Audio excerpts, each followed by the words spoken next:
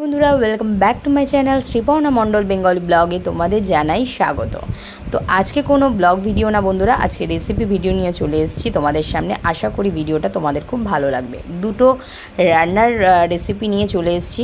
তো চলো বন্ধুরা, বেশি কথা না বলে ভিডিওটা আমি শুরু করতে শুরু করা যাক। তো আশা করি আমার সব বন্ধুরা খুব ভালো আছো আর সুস্থ আছো। তোমাদের ভালোবাসায় আমিও ভালো আছি। তো আজকে আমি দেখতেই পাচ্ছ এখানে কাঁচকলা, আলু নুন আর হলুদ দিয়ে আমি প্রেশার কুকারে নিয়ে নিয়েছি। এটাকে আমি সিদ্ধ করে নেব। আর তার সঙ্গে নিয়েছি ছোলার ডাল, অল্প একটু ছোলার ডাল ভিজিয়ে রেখে দিয়েছিলাম। সেটাকেও আমি মিক্সিতে নিয়ে পেস্ট করে নেব। তো কি রান্না করছি সেটা কেউ কেউ যদি গেস করতে পারো তাহলে কমেন্ট করে বলো। তো আমি তো তোমাদের সঙ্গে শেয়ার করবই। তো চলো দেখতে থাকো। আর নিয়ে নিয়েছি একটু কাঁচা লঙ্কা। এটাকে আমি ভালো করে মিহি করে একটা পেস্ট বানিয়ে নিয়েছি। জলটা যতটা অ্যাভয়েড করা যায় ততটাই ভালো। তো আমার একটু জল হয়ে গেছে। তো এর মধ্যে এবারে দেখো আলু সিদ্ধ, কলা সিদ্ধ আমি সব একটা বাটির মধ্যে নিয়ে নিয়েছি আর ডালটাও, পেস্টটাও নিয়ে নিয়েছি। সঙ্গে নিয়ে নিচ্ছি নুন, হলুদ আর অল্প একটু সামান্য চিনি। আর কাঁচা লঙ্কাটা তো আমি পেস্ট করেই নিয়েছি, তাই জন্য এর মধ্যে আমি ঝালটা দেব না। তো এটাকে দিয়ে ভালো করে আমি মেখে নেব আর সঙ্গে দেব হচ্ছে বেসন। দিয়ে আমি ভালো করে এটাকে একটা ডো বানিয়ে নেব। আর এর সঙ্গে তোমরা অল্প একটু ময়দাও দিতে পারো। আমি এখানে ময়দাটা ইউজ করিনি। এই যে দেখো, পুরো এইরকম গোল গোল করে আমি পকোড়া স্টাইলে আমি বানিয়ে নিয়েছি। এবারে আমি কড়াইতে তেল দিয়ে দিয়েছি, সাদা তেলেই রান্নাটা করেছি সাদা তেল দিয়ে দিয়েছি, এবারে আমি এগুলোকে ভেজে নেব। এটা বন্ধুরা, আমি বানাচ্ছি কাঁচকলার কোপ্তা। তো যারা কাঁচকলা খেতে চাও না, আমি বলব কোপ্তা বানিয়ে খাও। তোমরা কাঁচকলা জীবনে ভুলতে পারবে না। তো এই যে লাল লাল করে ভাজা হয়ে গেছে, এবার আমি মিক্সিতে টমেটো, আদা আর কাঁচা লঙ্কা একটা পেস্ট বানিয়ে নিয়েছি। কড়াইতে তেল দেওয়ার পর গোটা জিরে দিয়ে দিয়েছি ফোড়ন আর দেব হচ্ছে শুকনো লঙ্কা। তো এটা দেব ফোড়নে আর আমি ওটাকে কিন্তু ভালো করে পেস্ট বানিয়ে নিয়েছি, একটা মিহি করে পেস্ট। আর এবারে আমি কড়াইয়ের মধ্যে এটা দিয়ে দিয়েছি ফোড়নে দেওয়ার পর, এর মধ্যে একটু তেজপাতাও দিতে পারো ফ্লেভারের জন্য। আর এবারে আমি পেস্টটাকে এই তেলের মধ্যে ঢেলে দিয়েছি। দিয়ে ভালো করে নাড়াচাড়া করব। আর দেবো হচ্ছে নুন আর সামান্য পরিমাণ হলুদ। যেগুলো রেগুলারলি মশলা আছে সেগুলো তো দিতেই হবে। বন্ধুরা, অসাধারণ টেস্ট হয়। আমি বলব, যারা কাঁচকলা দেখলে মানে নাক সিটকোয়, আমি বলব এটা করে খাওয়ার পর তারা কোনো দিন কাঁচকলাকে আর ভুলতে পারবে না। এই যে দেখতে পাচ্ছ, এরপরে আমি দিয়ে দিয়েছি হচ্ছে হলুদ আর জিরে গুঁড়ো, বললামই রেগুলারলি মশলাটা। আর লঙ্কা তো আমি বেটে দিয়ে দিয়েছি, তাই একটু কালার লঙ্কা ওপর থেকে দেব। ভালো করে একদম মশলাটা কষিয়ে নিতে হবে যাতে মশলাটা কোনো গন্ধ না ছাড়ে, কাঁচা গন্ধ। আর এত টেস্ট হয় বন্ধুরা এটা মানে তুমি রুটি ভাতের সঙ্গে পরিবেশন করতে পারো বা রাইসের সঙ্গে পরিবেশন করতে পারো, এত টেস্ট হয় বলার মতন না।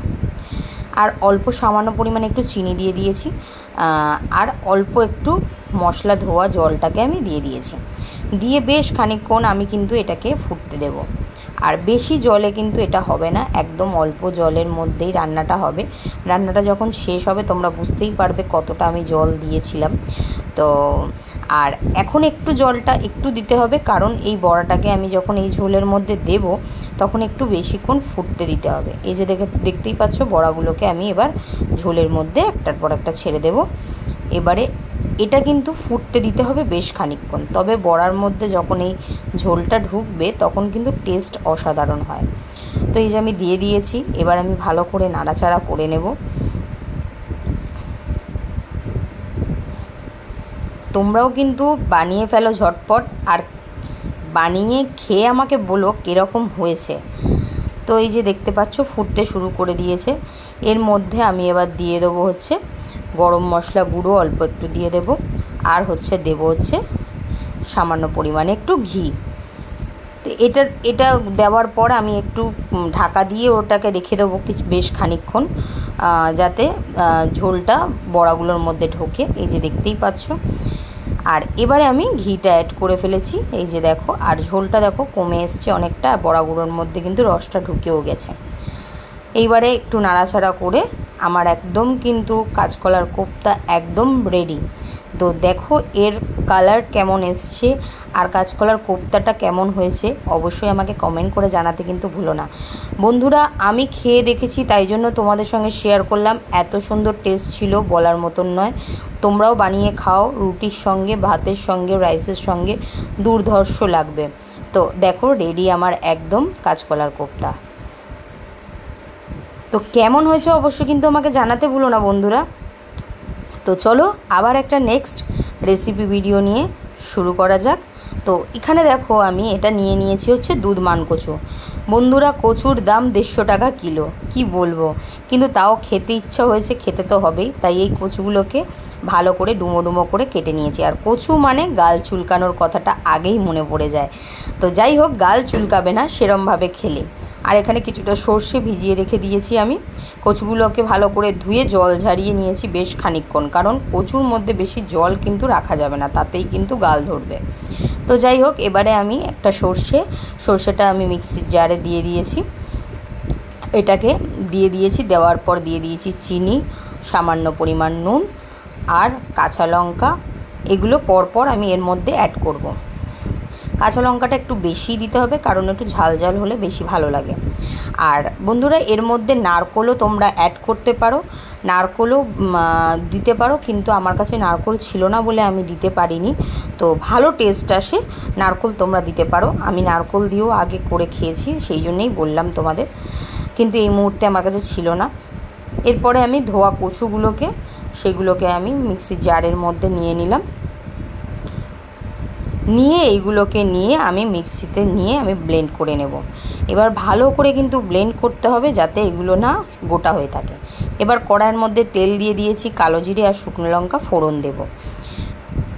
আর এই রান্নাটাতে কিন্তু বন্ধুরা তেল কিন্তু একটু বেশিই লাগে। এই সব রান্না করতে গেলে তেল একটু বেশি না দিলে কিন্তু টেস্ট পাবে না। এইবারে আমি ওই পেস্টটাকে পুরো কড়াইয়ের মধ্যে দিয়ে দিয়েছি।